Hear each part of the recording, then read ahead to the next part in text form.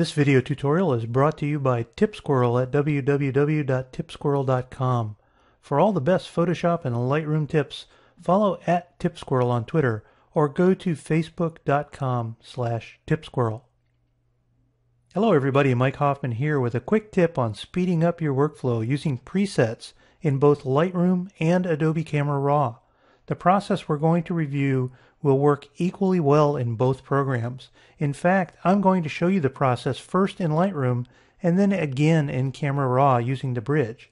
This past weekend, I had the opportunity to go to a couple of car shows and came away with a memory card filled with bracketed images. Because I was shooting in the daytime, in dubious lighting conditions, I had bracketed all my shots, and when I got home I wanted to create a bunch of HDR renderings of my images. I knew that I was in for a lot of editing. However, there were some common steps that I knew needed to be taken with every image, and so my thoughts turned to develop presets. When you think of develop presets, you tend to think of one-click treatments that will give you a certain look or an effect for your image. While it's true that presets can do this, they can also do a lot more. In my case, I was facing the drudgery of having to perform some routine steps over and over again on multiple images.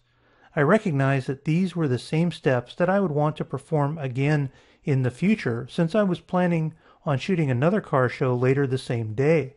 Presets come to the rescue. Let's take a look here in Lightroom and I'll step you through my workflow in preparing these images to be merged to HDR. I'll start by selecting the first three images, a bracketed set with a neutral image, a minus 2, and a plus 2 image. With the three images selected, I'll press D to go into the Develop module. Here in the Develop module, if we peek down at the lower right corner, we can see that the button says Sync. On the left edge of this button is a slide switch, and if we activate that, we can see the button changes to Auto Sync. With this setting active, any changes that we make to one image will be automatically copied to the other selected images, and we can see the selected images here in the film strip. It's worth noting that you'll only see this choice if you have multiple images selected. If we select a single image, the sync option goes away. So we'll go back and select these three images once again. And now we've got auto sync turned on. Now we're ready to make some basic adjustments and prepare our images for Merge to HDR. Here in the Basic section, we'll go in and reduce the highlights just a bit, just to give us a little more room, and we'll open up the shadows just a bit as well.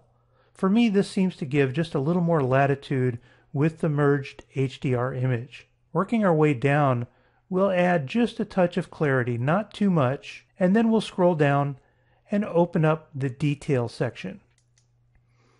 Now within the Details section, we can see the default sharpening that's applied to camera raw images. The value is 25. However, if we're planning to merge these images to HDR, any sharpening at all will be amplified during the merge to HDR process. So I'm going to want to take my sharpening down to zero for all the images where I intend to merge to HDR. This isn't my normal workflow, but for HDR, this is the best bet because I don't want those sharpening artifacts to be amplified. Also, here in the details section, we have noise reduction. The default is a value of 25 for color noise reduction and 0 for luminance. I'm going to bump the luminance up a bit to about 20, and I'm going to want to save that as part of my preset. Again, with a merge to HDR process, any noise that's present in the image is going to be amplified, so reducing this noise up front will help us in the long run. Next, we'll scroll down and we'll open up the Lens Corrections section. In the Profile tab, we'll enable Profile Corrections. I was shooting with a wide-angle lens, as you can see here, and these corrections help to remove the barrel distortion. Again, if I disable and re-enable, you can see what's happening with the image here. Furthermore, I know that my lens tends to have a bit of chromatic aberration. So I'll switch to the Color tab, and here I'll choose the option to remove chromatic aberration. In the purple fringe section, I'll also bump up the amount to about 6. My experience with this lens tells me that this is an appropriate number. You'll have to play around with your own lenses and find out what works best for you. Now these are all the changes that I intend to make on every single image in these bracketed sets that I shot. Now because I enabled auto sync, the changes were already made to the three photos that I had selected. However, I can open the left-hand panel here in the Develop module and in the Preset section, I can click on the plus sign to save these settings as a preset. I'll give this preset a name and I'll call it Prepare for HDR. I'll make sure that I have a checkbox in all the places where I've made changes to the develop settings. Then I'll click on Create. Looking again here on the left, we can see now that we have a preset included in the list, Prepare for HDR. Now there are several ways that we can apply this preset. We can go back to the library module. I'll press G to get to the grid view, and I can highlight three additional photos. I can then press the D key again to take these back to the develop module, and now in the develop module, with auto sync enabled, I can go to the preset list and simply click on my preset.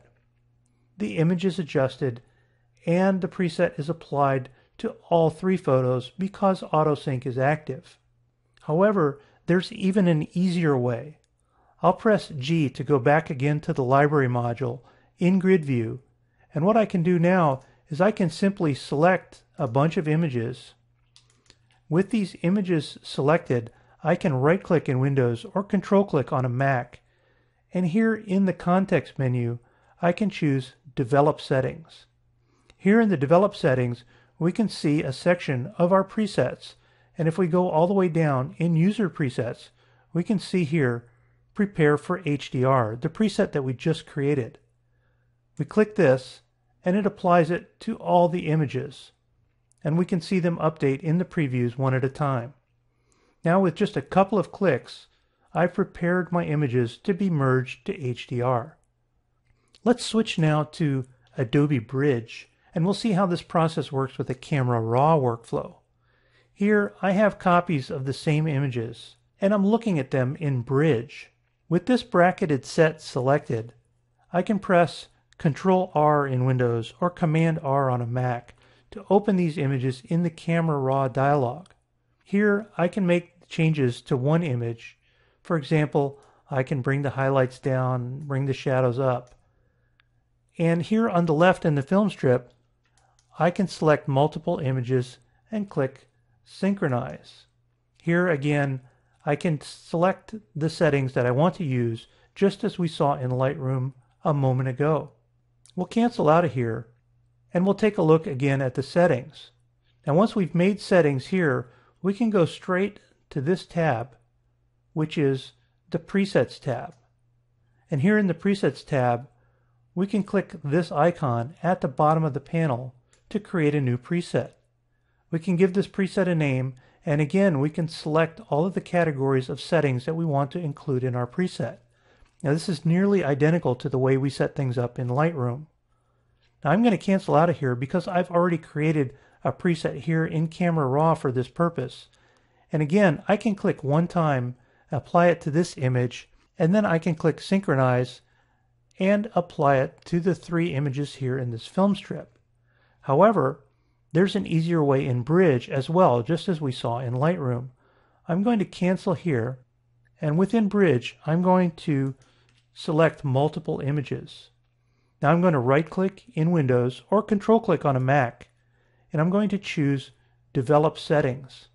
Here in the Develop Settings, we can see our presets, and here's Prepare for HDR, the one that we created earlier. I'll click this and we can see the images updated again in the previews here. Once again, with just a couple of clicks, we've prepared these images to be merged to HDR. Developed settings are typically associated with a look or an effect for your image. However, as we've just seen, we can use presets as a workflow enhancement, an efficiency boost that helps us get the heavy lifting done quickly and easily and consistently so that we can focus our efforts in more interesting areas. My name is Mike Hoffman. My website is hoffmanartdesign.com. You'll find a variety of photography, Photoshop, and Lightroom tutorials and related information there. Or you can follow me at mhoffman2001 on Twitter, and you can find me on Google Plus by simply going to gplusmikehoffman.com. Thanks for watching, and I hope you enjoyed this tutorial.